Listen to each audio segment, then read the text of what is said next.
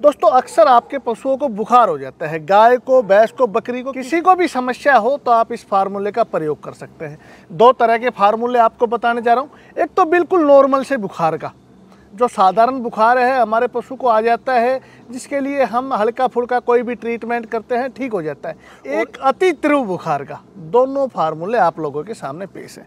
तो दोस्तों, जो साधारण बुखार है, उसके लिए आपको क्या करना है आप अपनी स्क्रीन के ऊपर देख रहे हैं, ये है नौ सादर ठेकरी।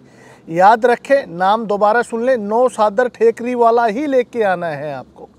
और उसके बाद दूसरा आप सभी के घर में मिल जाएगा सोडा बाई कार्बोनेट, जिसको हम मीठा सोडा भी बोलते हैं।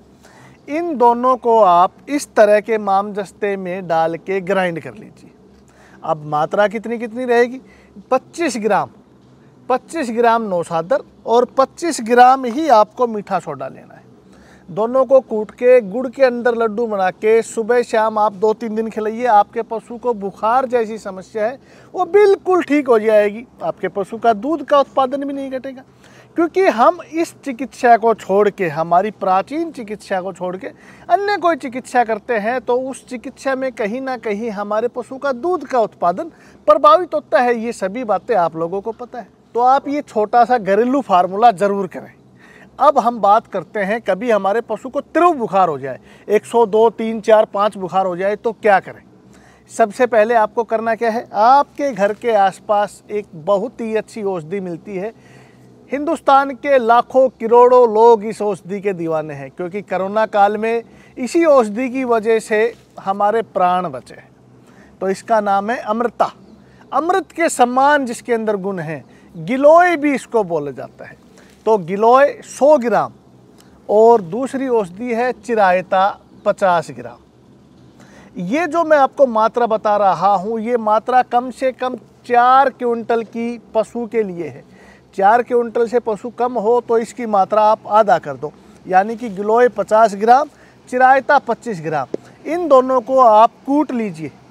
कूट के गुड़ में लड्डू कीजिए और अपने पशु को सुबह शाम खिलाइए। एक तो ये तरीका है। दूसरा, अगर हम इन दोनों औषधि को पानी के अंदर उबाल के काढ़ा करके अपने पशु को पिलाते हैं तो बहुत ही स्पीड से, बहुत ही फास्ट रिज़ल्ट आएगा। आपको 50 ग्राम गिलोय 25 ग्राम चिरायता। चिरायता आप एक बार फिर से देख लीजिए। चिरायता आपको आसानी से पंसारी की दुकान पे मिल जाएगा। दोनों को पानी में उबालिए और आप अपने पशु को पिला दीजिए। एक खुराक देने के 15 मिनट के बाद ही आपको रिज़ल्ट दिखना शुरू हो जाएगा। दूसरा एक और विशेष काम करना, बुखार होता क्या है? शरीर के अंदर हीट टम्परेचर बढ़ जाता है। तो जब भी टम्परेचर बढ़े तो आपको क्या करना है? एक सूती कपड़ा ले लो। जैसे मैंने ये पहन रखा है, इस तरह का कोई भी सूती कपड़ा ले लो। उसको आप बिल्कुल ठंडे पानी के अंदर डुबो लो। डुबो के अपने पशु के माथे पे, सिर पे बाँध दो। ऐसे करने से भी बुखार नॉर्मली आ जाएगा। तो ये छोटे छोटे साधारण से फार्मूले आप अपने घर पे क्यों नहीं उपयोग करते? आप लोगों से शिकायत है मेरी।